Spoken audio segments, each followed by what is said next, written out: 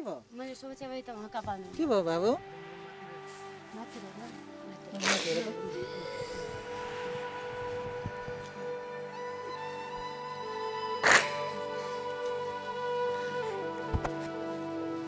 खानापिना गर्छु दिउँसो पानी बोक्छु अनि बेलुका अनि फेरि खाना गर्छु अनि दाउरा साउरा ल्याउँछु जे गर्छु। खुसी छ नि? खुसी छु। खुसी छ है आज? यहाँ आएर साथीहरू नि भेट्यो नि होइन? भेटियो। कस्तो लाग्यो देख्दै गर्दाखेरि? राम्रो लाग्छ। कालीकोट जिल्ला तिला गुफा नगरपालिकाको बाली भन्ने ठाउँका मोहन विष्ट आफ्ना आमा बाबाको मृत्युपछि दाईको ससुरालीमा गोठालो बसेका थिए। हाम्रो कर्णाली प्रदेशको यात्राको क्रममा मैले उनलाई दाईको ससुरालीमा भेटेँ। स्कुल जान नपाएका तर स्कुल पढ्ने ठुलो रहर भएका मोहन विष्टलाई हामीले सप्तरङ्गी ओझेलका खबर मार्फत उनको पीडा सार्वजनिक गऱ्यौँ। खबर मात्रै सार्वजनिक गरेर हामी ढुक्क हुन सकेनौँ। मैले उनलाई यति बेला काठमाडौँसम्म पुर्याउनको लागि लिएर हिँडेको छु। कुन ठाउँमा र के को लागि लिएर हिँडेको छु यी सबै कुरा त यो भिडियोमा अवश्य पनि बताउनेछु। तर त्यसको लागि पुरै भिडियो हेर्नुहोला।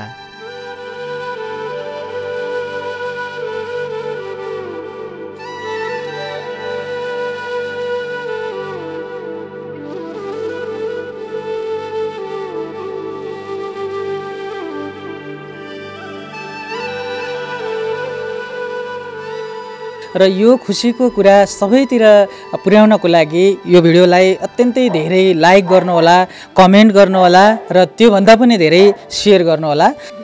के किन रोको ल भन त किन रोको भन त भन त भन त बाबु भन भन। किन रोको? के भयो? के भयो भन त? के भयो? के भएर रोको? यहाँ आउँदा दुःखी भएर हो र? होइन। होइन है? खुसी भएर हो?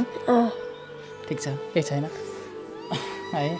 हो नि साँच्चीकै यो सानो उमेरमा आमा बाबाको काखमा रमाउँदै खेल्दै पढ्दै हुर्किने बेलामा होइन? आमा बाबा त गुमे नै। अब आफ्नो भविष्य बनाउने जुन शिक्षा हो त्यो पनि पाउन नसक्दा दाईको ससुरालीमा बसेर होइन? घाँस दाउरा गोबर सोत्तर गरेर जिन्दगी कटाउनु पर्दाको अवस्थाबाट अब केही हुन्छ कि भन्ने सुन्दै गर्दा यहाँसम्म आउँदै गर्दा हामीले भनेका कुराहरूले पनि बाबुलाई धेरै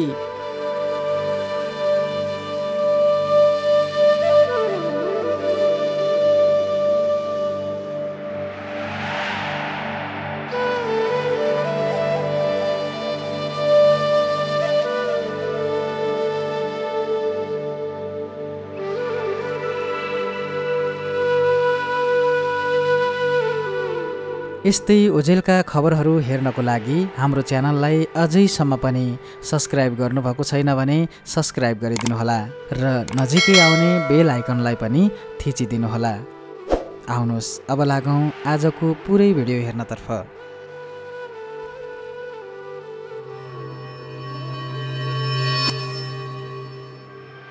नमस्कार दर्शकहरू सप्तरङ्गी ओझेलका खबरमा हार्दिक स्वागत गर्न चाहन्छु। म हुँ रेशम बोहरा र आज तपाईँहरू माझमा अत्यन्तै खुसीको भिडियो सामग्री सार्वजनिक गर्दैछु। यो खुसीको खबर छ। हामीले केही समय अगाडि कालीकोट जिल्लाको नागमा नजिकै बाली भन्ने ठाउँमा पुगेर एकजना मोहन विष्ट बाबुको अत्यन्तै दुःखदायी भिडियो सामग्री तपाईँहरू माझमा सार्वजनिक गऱ्यौँ र बाबुको भिडियो सामग्री सार्वजनिक गर्दै गर्दा हामी रोयौँ बाबु रुनुभयो। त्यसै गरी हेर्ने तपाईँ दर्शकहरू पनि रुनुभयो। र बाबुको अवस्थाको बारेमा तपाईँहरूलाई जानकारी थोरै गराउनु पर्दा बाबुको आमा बाबा हुनुहुन्न र आमा बाबाको मृत्यु भएसँगै बाबु आफ्नो दाजुको ससुरालीमा बसिरहनु भएको थियो। पठन पाठनदेखि लिएर कुनै पनि बाबुको व्यक्तित्व विकाससँग सम्बन्धित कुराहरू अ, बाट ब- वञ्चित हुनुहुन्थ्यो बाबु। र समग्रमा भन्नुपर्दा दाईको ससुरालीमा गोठालो बस्नुभएको थियो घराइसे काम गरेर बस्नुभएको थियो। त्यही कुरा हामीले मिडियाको माध्यमबाट सार्वजनिक गरेसँगै संसारैभरि रहनुभएका मनकारी तपाईँहरूले एकदमै चासो पनि राख्नुभयो र सबैले आफ्नो तर्फबाट बाबुलाई व्यक्तिगत रूपमा या संस्थागत रूपमा कसरी हुन्छ सहयोग गर्नलाई एकदमै चासो पनि राख्नुभयो। तपाईँहरू सबैलाई हृदयदेखि नै धेरै धेरै धन्यवाद दिन चाहन्छु। र अन्तत बाबुलाई हामीले अहिले काठमाडौँको स्वयम्भूमा लिएर आएका छौँ र यहाँ बुद्धज हेल्पिङ ह्यान्ड भन्ने संस्था छ र यहाँ आने गुरुङ दिदी हुनुहुन्छ। उहाँसँग पनि हामीले थोरै कुरा गर्नेछौँ र यहाँसम्म बाबुलाई लिएर आउँदै गर्दा हामी त खुसी छौँ। बाबु कति खुसी हुनुहुन्छ। एकपटक फेरि बाबुसँग पनि थोरै बुझ्ने प्रयत्न गर्छु। मोहन बाबु। खुसी छ नि? खुसी छु। खुसी छ है आज? यहाँ आएर साथीहरू नि भेट्यो नि होइन? भेटियो। कस्तो लाग्यो देख्दै गर्दाखेरि? राम्रो लाग्छ। राम्रो लाग्छ खुसी लाग्छ नि। अब यहीँ बस्ने हामी त छोडेर जान्छौँ। थाहा छ नि होइन? खुसी छ नि हामी छोडेर गए पनि दुःखी त छैन नि। खुसी छु। खुसी छ है। हामी फेरि छोडेर गए पनि हामी यहाँ आइरहेको छ नि बाबुलाई के छ कस्तो छ भनेर बेला बेलामा आइरहेको छ नि हामी। होइन? ठिक छ नि? ठिक छ। है खुसी छ नि सबैभन्दा ठुलो कुरा त खुसी हो। बाबु नै खुसी भएन भने हामी पनि खुसी हुन सक्दैनौँ। तर बाबु अहिले तत्कालको लागि है। अलि अप्ठ्यारो पनि लाग्न सक्छ। नयाँ ठाउँ छ। एक्कासी त्यो एउटा दूर दराजबाट दुर्गम ठाउँबाट बालीबाट होइन? काठमाडौँमा आएको छ। होइन? काठमाडौँमा पनि यस्तो ठाउँमा आएको छ। अलिकति अप्ठ्यारो त लाग्न सक्छ। अलिअलि अप्ठ्यारो लाग्छ? छैन मलाई। लागेको छैन है? त्यही पनि अप्ठ्यारो लागे पनि एक दुई दिन मात्रै हो। त्यसपछि साथीभाइसँग सबैसँग घुलमिल गइस भइसकेपछि त सबै बिर्सिन्छ फेरि होइन? होइन? खुसी छ नि होइन? ल खुसी छ। हामी पनि एकदमै खुसी छौँ। बाबुलाई यहाँसम्म ल्याउन सक्यौँ। तपाईँहरू सबैलाई धेरै धेरै धन्यवाद दिन चाहन्छु। र बाबुको बारेमा धेरै चिन्ता पनि व्यक्त गर्नुभएको छ। अब चाहिँ बाबुको लगभग हामीले गर्नुपर्ने फलोअपदेखि लिएर लगभग यो अन्तिम फलोअप पनि हुनसक्छ बाबुको। किनभने अब बाबुको बारेमा बेला बेलामा हामी पछि पछि कस्तो छ बाबुको खबर भनेर जानकारी त अवश्य पनि गराउनेछौँ। तर बाबुको जुन दर्दनाक अवस्था थियो त्यहाँबाट यहाँसम्म हामीले लिइसकेका छौँ र बाबु अब व्यवस्थित ठाउँमा आइपुगेको खबर मात्रै गर्न चाहन्छौँ। हजुरले नै होइन बाबुको भिडियो हेर्नुभयो। हेरिसकेपछि कस्तो भयो हजुरलाई? अब तपाईँको त्यो च्यानलबाट मैले हेरेको उहाँलाई। कस्तो माया लाग्यो अनि म त यहाँ बच्चाहरू पालिरहेछ नि त। अनि म पनि उहाँलाई सहयोग गर्छु भनेर अनि तपाईँलाई फोन गरेको। त्यसपछि हाम्रो लामो कुराकानी पनि भयो होइन? लामो कुराकानी भइसकेपछि हाम्रो गणेश दाई यहाँ आएर बुझेर पनि जानुभयो। म चाहिँ उहीँ नै थिएँ बाबुतिरै थिएँ होइन? त्यसपछि बाबुलाई यहाँसम्म लिएर आयौँ। बाबु अत्यन्तै खुसी छन् दिदी यहाँसम्म आउने पा आउन पाउँदै गर्दा। हजुर पनि खुसी हुनुहुन्छ होइन? हजुर हजुर। अब उहाँ राम्रोसँग पढ्नु पऱ्यो मेन अब त्यही हो। अब त्यो वातावरण त यहाँ तपाईँहरूले सिर्जना गरिहाल्नुहुन्छ। सबैले पढेर बसिरहनु भएको छ बाबु पनि पढिहाल्नुहुन्छ र अत्यन्तै पढ्नको लागि मैले एउटा त्यो भिडियोमा पनि हजुरले हेर्नु पनि भएको छ बाबुलाई पढ्ने मन छ भनेर भन्दा बित्तिकै मलाई पढ्ने मन छ भनेर शब्दमा भनेनन् कि उनी रोए के? त्यो भनेकै हामीले बाबुभित्र पढ्ने रहर छ भन्ने बुझेका थियौँ।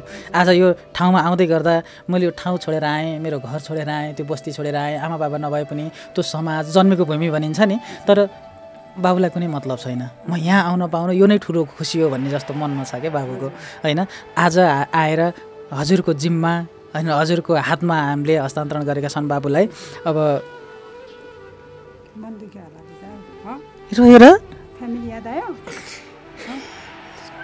याद आयो? र? दाइ याद आयो? अब होइन। के किन रोको ल भन त किन रोको? भन त भन त भन त बाबु। भन भन। किन रोको? के भयो? के भयो भन त के भयो? के भएर रोको यहाँ आउँदा दुःखी भएर हो र? होइन। होइन है? खुसी भएर हो? ठिक छ केही छैन। है? हो नि साँच्चीकै यो सानो उमेरमा आमा बाबाको काखमा रमाउँदै खेल्दै पढ्दै हुर्किने बेलामा होइन? आमा बाबा त गुमे नै। अब आफ्नो भविष्य बनाउने जुन शिक्षा हो त्यो पनि पाउन नसक्दा दाईको ससुरालीमा बसेर होइन घाँस दाउरा गोबर सोत्तर गरेर जिन्दगी कटाउनु पर्दाको अवस्थाबाट अब केही हुन्छ कि भन्ने सुन्दै गर्दा यहाँसम्म आउँदै गर्दा हामीले भनेका कुराहरूले पनि बाबुलाई धेरै होइन पुराना दिन सम्झेर अब अगाडिको भविष्य सम्झेर पनि अब नराम्रो लाग्न सक्छ स्वाभाविक केही छैन। होइन बाबु? है? नरौ नरौ केही छैन।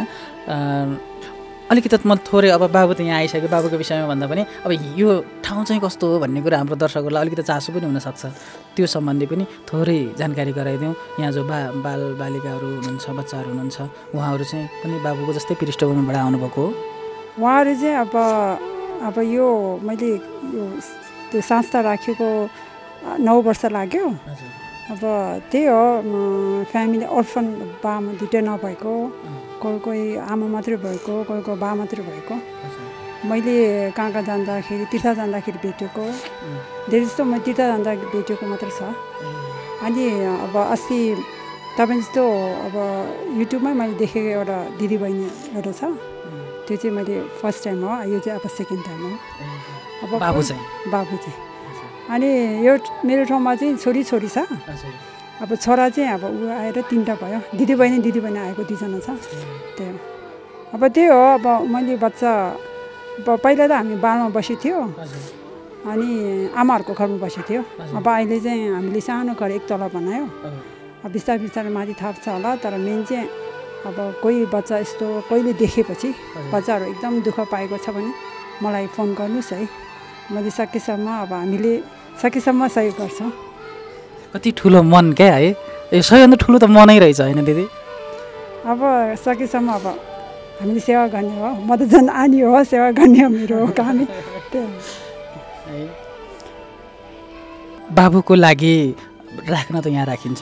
पढाइको कुरा चाहिँ के हुन्छ? कहाँ पढाउनु भएको छ नानीहरूलाई यहाँ बाबुहरूलाई? अब मेरो बच्चाहरू सबै नाम्गे स्कुलमा पढ्छ। नाम्गे स्कुलमा अब एक्स्ट्रा एउटा टिपाइदिन्छ अब अनि अब छोरा तिनजनालाई चाहिँ अब हामीले आनन्द कोटीमा पढाउँछ कि अनि यहाँ यहीँ नाम्गे चोको नाम्गे स्कुलकै छेउमा पढाउँछ भने थाहा छैन। अहिले कन्फर्म भइसकेन अब एप्रिलदेखि नयाँ सेक्सन हो। अहिले त्यही हो। अहिले चाहिँ अब ट्युसन गइरहेको छ एक महिना उनीहरू।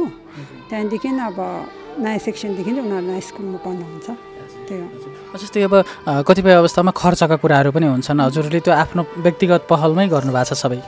अब मेरो चाहिँ फ्यामिली सपोर्ट ठुलो छ। फ्यामिली सपोर्ट छ अनि मेरो मेन चाहिँ अब हाम्रो होटेल छ थामिलमा फ्यामिलीको त्यो थामिल होटेलमा अब त्यहाँबाट आउँछ इन्कम अनि साथीहरू पनि अलिअलि सहयोग गर्छ। त्यो डोनेसन दिन्छ मान्छेहरूले। अलिअलि मेन चाहिँ अब साथीहरूले। मेरो चिनी चिनी साथीहरूले डोनेसन दिन्छ। अलिअलि। त मेन चाहिँ इन्कम चाहिँ मेरो होटेल हो। हाम्रो होटेल छ ठाउँमा फ्यामिली होटेल फ्यामिली सपोर्ट भनौँ न। फ्यामिली सपोर्ट भएर गर्न सकेको सहयोग एकदमै सबैभन्दा ठुलो कुरो त्यो अझै ठुलो कुरा हो। हजुरले हामीले गर्दै गरेको कुरामा फ्यामिली सपोर्ट मिलेन भने गाह्रो पनि हुन्छ। र अरू पनि सपोर्टहरू जो छ हजुरलाई। र अब केही बुझ्नुपर्छ जस्तो हजुरबाट लाग्दैन। सबैभन्दा ठुलो कुरो त हजुरलाई हामीले अरू त के दिन सक्छौँ? बाबुलाई लिएर छोड्यौँ। सँगसँगै धन्यवाद मात्रै हजुरलाई। तपाईँलाई पनि धेरै धेरै धन्यवाद। उहाँलाई यहाँसम्म ल्याइदिएकोमा म। लिन जान्छु भने एकदम टाढो रहेछ अनि तपाईँले ल्याइदिनु भयो त्यसको लागि तपाईँलाई धेरै धेरै धन्यवाद। एकदमै। र हामी बेला बेलामा होइन के छ कस्तो छ भनेर आउँछौँ। फेरि पनि हजुर हामी पनि भेट हुनुपर्ने हुन्छ। बाबु मात्रै होइन। बाबु जस्तो धेरै हामीसँग जोडिँदै पनि हुनुहुन्छ। उहाँहरूलाई पनि कति सकिन्छ हामी सँगै जुटेर गर्नु छ होइन? त्यही हो अब नेपालमा कोही अब गाउँ गाउँ टाढो टाढोतिर हामी जान सक्दैन। अब कसैले थाहा पाएपछि कोही देखेपछि बच्चाहरू एकदम दुःख पाएको पढ्ने इच्छा भएको छ भने मलाई कन्ट्याक्ट गर्नुहोस्। जो भए पनि दुःख पाएको छ भने होइन? जुन अब मैले कति सक्छ मैले गर्ने हो। त्यो चाहिँ मलाई भन्नुहोस् म आनी गुरुङ हो मेरो कन्ट्याक्ट नम्बर पनि राख्छ होला तपाईँलाई भन्नुहोस् मलाई अनि तपाईँलाई दिन्छु। यहाँ स्क्रिनमा राखिदिनु। त्यही हो अनि त्यही हो। हस् थोरै म गणेश दाईलाई पनि जोड्न चाहन्छु। बाबुको विषयमा म कालीकोटतिर अर्थात् कर्णाली प्रदेशमै थिएँ। त्यो बेलामा दिदीले कुराकानी गरिसकेपछि हामीसँग एकपटक यहाँ आएर बुझिदिनु होला दाई भनेर पनि भनेको थिएँ। धेरै ठाउँबाट कन्ट्याक्ट गर्नुभएको थियो र धेरै ठाउँमा गणेश दाईले डुल्नुभयो काठमाडौँको विभिन्न ठाउँमा कुन ठाउँ कस्तो छ भनेर र अन्तत सबै धेरै लगभग छ सातवटा ठाउँमा पुगे मध्येमा यहाँ चाहिँ एकदमै वातावरण नै घराइसी वातावरण। हामी आफ्नै बच्चाहरूलाई पनि त्यतिको गर्न सक्दैन होला तर त्यहाँतिर राम्रो छ पनि भन्नुभयो र बाबुलाई आज यहाँसम्म ल्यायौँ। थोरै कुरा हजुरले कसरी कसरी दुःख पाउनुभयो यो कुरा गरौँ। नमस्ते सर्वप्रथम सबै सप्तरङ्गी हेरी सम्पूर्णलाई। अब मोहन विष्टको भाइको कुरा गर्दा सप्तरङ्गी हेरेपछि हाम्रो आनी दिदीले चाहिँ उहाँले नै आफैले इच्छाअनुसारको मलाई यो भाइ ल्याइदिनु भन्ने कुरो भएपछि अहिले भने रेशम भाइ कालीकर हुँदा उहाँको लागि धेरै ठाउँबाट अफर आउँदा आउँदै पनि हामी चाहिँ धेरै ठाउँ डुल्दै डुल्दै गर्दै यहाँ आइपुगेँ म। दिदीसँग कुरा भयो मैले उहाँसँग कसरी सञ्चालन भएको कताबाट सहयोग आएकोदेखिको लिएर पहिला कहाँ थियो चाहिँ मान्छेले अर- अर्को एउटाको मान्छेको जीवन जस्तो कुरा होइन? त्यस कारण बुझ्नुपर्ने हुन्छ। मैले अलिक अलिकति अलिकति छड्के केही पनि बुझेँ धेरै कुरा बुझ्दै जाँदा। अन्तभन्दा यो अलिकति राम्रो पनि ठाउँ पढाउनु पनि राम्रो ठाउँमा पढाएको। म आउँदा ठ्याक्क बच्चाहरू स्कुल जाने बेला भएको त्यहाँको तिनीहरूले ड्रेसहरू तिनीहरूको लगाइ खुवाइ पनि हेरेँ मैले लगाइहरू पनि। त्यसले गर्दा अन्तभन्दा यहाँ ठिक हुन्छ र यहाँ गरौँ भन्ने हिसाबले मैले सिफारिस गरेँ। अ, त्यस कारण यहाँ आइपुग्यो। अहिले भाइ यहाँ आइपुग्यौँ। यो आफ्नो सबै परिवार आफन्त कोही नभए पनि यो एउटा परिवार आइपुगेको छ यो पवित्र मन्दिरमा आइपुगेको छ। यो मन्दिरले भाइलाई पक्कै पनि उज्जवल भविष्यको कामना गर्छ। हामी पनि एउटा सामूहिक सेवामा सँगसँगै लागिरहेछौँ जे कुरा पनि जे जसको उद्देश्य जे भए पनि उद्देश्य एउटै हो आफूभन्दा कमजोरलाई सहयोग गर्ने हो। त्यस्तै हामीसँग एकदम हातेमाली गरेर नै मेरो चाहिँ दर्शन दर्शन नेपाल फाउन्डेसनका सचिव दिपु खड्का हुन्छ हिमा हिमा हिमलाल शर्माजी हुनुहुन्छ। हामी एउटै हो यो जो जसले आनी दिदीले जसरी गर्नु भएको छ एउटा सेवा हो हामी पनि त्यसरी नै कुनै न कुनै पाटोबाट सामाजिक सेवा लागेको छौँ। मेरो साथी दिपु खड्का हुनुहुन्छ हिमालजी अघि नै भने हामी सँगसँगै छौँ सबैले मिलेर आफूभन्दा आफूले एक छाक कटाएर भए पनि आफूभन्दा कमजोरलाई सहयोग गरौँ भन्ने नै मेन उद्देश्य हो। त्यस कारण दिपु खड्काप्रति हिमालजीप्रति विशेष आभार व्यक्त गर्दै मेरो दर्शन प्रतिष्ठान सबै साथीहरूलाई मरिमरि धन्यवाद र सम्झन चाहन्छु। दर्शकहरू भन्न त मन लाग्छ नि जसको कोही छैन उसको हामी छौँ। तर हामी सबैको लागि चाहिँ त हुन सक्दैनौँ। तर जहाँसम्म पुग्छौँ हामी छौँ। आज मोहन बाबुको लागि पनि हामी छौँ अर्थात् आनी दिदी पनि हुनुहुन्छ। सँगै हामी सम्पूर्ण छौँ बाबुको लागि। फेरि पनि आउनेछौँ। बाबुको अवस्था के हुँदैछ कस्तो हुँदैछ भनेर तपाईँहरू माझमा जानकारी अवश्य पनि गराउनेछौँ। र अहिलेको लागि भने अब मोहन विष्ट बाबुको फलोअप रिपोर्टिङ पनि सम्भवतः यो अन्तिम पनि हुनसक्छ। किनभने बाबुलाई यहाँसम्म ल्याउनु थियो लिइ पनि सकेका छौँ र अन्य कुराहरू फेरि पनि तपाईँहरू माझमा जानकारी गराउँदै जानेछौँ। ठिक छ नि? होइन? के हामीसँग जान जान मन लाग्यो र? ला छैन नि? यहीँ बस्छौ नि।